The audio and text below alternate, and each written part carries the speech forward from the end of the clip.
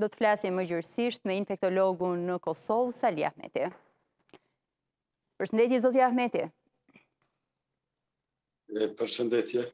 Si e keni parë ditën e sotme ka pasur një interesim më të madh të bluzave të bardha për të marrë vaksinën Pfizer në krahasim me AstraZeneca që ka filluar më herët me 24.000 doza që erdhën në Kosovë, duke shprehur kështu ndoshta besueshmëri më shumë apo ishte po njëlloj si në vaksinat e para? Po sot interesimi i bluzave të bardha është mjaft i madh dhe besoj që sot edhe nesër do të kryhet vaksinimi i punëtorëve shëndetësor. Dhe natyrisht unë mendoj se megjithatë për Pfizer ekziston një besueshmëri ma e madhe edhe në mesin e punëtorëve shëndetësor, po një pjesë e mirë e tyne edhe për shkaqe të ndryshme nuk kanë mujt t'ju përgjigjen thirrjeve për vaksinim herën e kaluar, por unë shpresoj sot e nesër do të kryhet me punëtorët shëndetësorë. Po si është bërë përzgjedhja për ata që e kanë marrë vaksinën? Domethënë, ka pasur disa kritere, si infektimi më i hershëm me COVID-19 apo të tjera kritere? Po mendon për sot apo për herën e kaluar? Që në fillim, po edhe për sot, domethënë si ka, me çfarë logjike, me çfarë strategjie ka vazhduar? Zakonisht, në mesin e punëtorëve shëndetësor, përparësi kanë pas personat të cilët nuk e kanë kaluar fare COVID-in, Ndërsa ma tutje kanë ardh në radhë ata të cilët kanë kalu ma herët Covidin dhe kanë pas një imunitet natyror kundër sëmundjes. Po, si po bëhet vaksinimi i bluzave të bardha në Kosovë? Po marrin të gjithë dozën e parë, edhe më pas pritet që të vijnë të tjera doza për të marrë dozën e dytë, apo po ruhen dozat e dyta për ata që e kanë marrë dozën e parë, në mënyrë që t'i kenë të dyja dozat ata që janë vaksinuar fillimisht? Ne tani po marrim kështu dozën e parë, ata që kanë marrë dozën e parë nuk janë duke u vaksinuar, ne presim radhën meqenëse zakonisht ata që e kanë marrë me AstraZeneca dozën e parë, ka kohë ende që për dozën e parë, meqenëse zakonisht ajo po të jetë deri në 12 javë pas vaksinimit të parë, ndërsa tash marrin dozën e parë ata të cilët nuk kanë qenë vaksinu. Pra do konsumohen në njëfarë mënyrë nëse mund ta themi kështu të gjitha vaksinat edhe të Pfizerit, edhe do pritet një tjetër sasi dozash për të marrë vaksinën e dytë në momentin kur të jetë momenti i duhur për t'u vaksinuar me të dytën. Po. Unë mendoj që ne ata që kanë marrë AstraZeneca tash do të presin radhën kur do t'i vjen koha për me marrë dozën e dytë Ndërsa tani do të vaksinohen ata të cilët janë të pavaksinuar. E qartë. Po priten sasi të tjera vaksinash në Kosovë nga kontrata të firmosura nga vetë shteti me kompanitë apo edhe nga mekanizmi COVAX, donacione të tjera nga shtete të ndryshme, tani së shpejti? Ne ne jemi në pritje dhe besoj se së shpejti do të kemi vaksina të mjaftueshme për vaksinimin jo vetëm të punëtorëve shëndetësorë, por edhe të kategorive tjera në rrezikshmëri pak ma të lartë dhe të unë mendoj se së shpejti do të fillon veç vaksinimi masiv i gjithë popullatës. E qartë. Si e shihni situatën me shifrat e të prekurve por edhe viktimave nga Covid nëntëmbëdhjetë në këto momente në Kosovë? Kaloi edhe vala që ishte prezente vetëm muajt e fundit?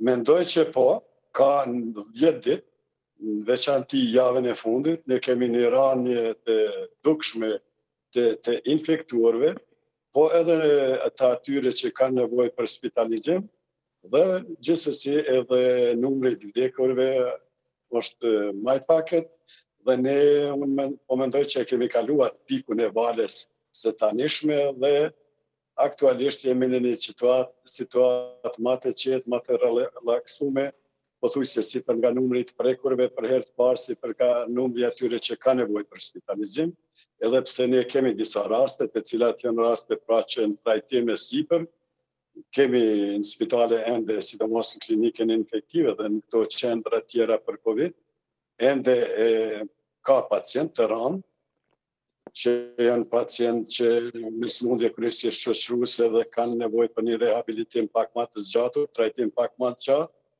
Por sidoqoftë gjendja e tyne është stabile dhe në çdo aspekt ne jemi ma stabil, kërkesat për e, për pranime të reja janë dukshëm ma të pakta dhe kështu është një situatë e menaxhueshme mirë.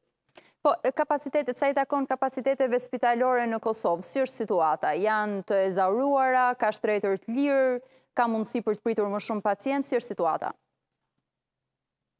Po ne aktualisht ne kemi diku në nivel vendi 450 të spitalizuar, përderisa i kemi pas 900 edhe mbi, te për rreth 1000, dhe kështu ka kapacitete rezervë të spitaleve, kështu që për spitalizim me një trend të zakonshëm, apo sikur po sillet kështu ditëve të fundit, kemi kapacitete rezervë të mjaftë Po sjelljen e qytetarëve si e shihni? Cilat janë hallkat që po ndjekin? Shkojnë direkt te infektologu, te epidemiologu apo ndjekin hallkat te mjeku i familjes, ndoshta telefonata me me mjekët që për t'i ndihmuar në fazat e para apo vijnë menjëherë tek tek ju? Jo, zakonisht varet edhe prej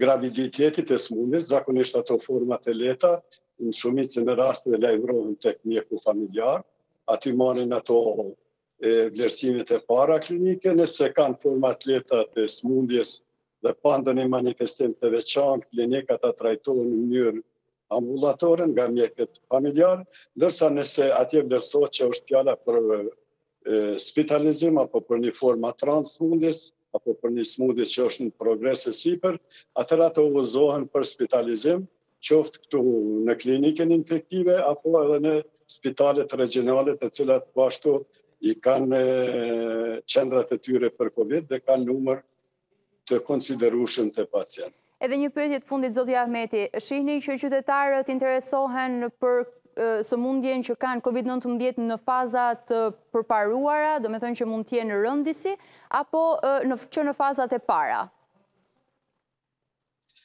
interesohen që në fazat e para, thënë të vërtetën sidomos prej momentit kur ata marrin e, rezultatin dhe e konfirmojnë se janë pozitiv, e, por në shumicën e rasteve ata e, ma e preferojnë që të trajtohen qoftë në mënyrë ambulantore, meqenëse ajo ju, ju krijon mundësi trajtimi në ambiente shtëpiake, që është pak ma relaksues, ma i preferushëm për pacientët, dhe shpesh herë këtu ata humbin tek rastet të randa atë kohën optimale të trajtimit të tyre spitalor.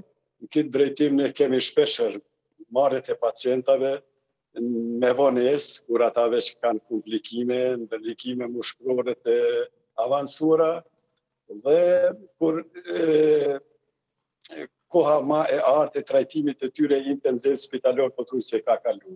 Ndodh kjo shpesh kështu te pacientët tanë, ndërsa në shumicën e rasteve një numër i konsiderushëm i pacientave megjithatë preferojnë trajtimin direkt, posa të marrin rekomandimet qoftë nga mjekë familjarë ose qoftë edhe vetë kur shofin që gjendja shëndetësore e tyre është përkeqësu, që të lajmërohen në spital dhe të fillojnë trajtimin spitalor.